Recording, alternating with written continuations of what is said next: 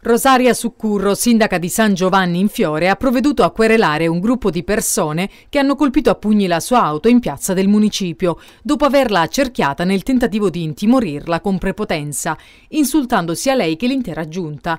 Grazie al pronto intervento di due carabinieri non è successo il peggio.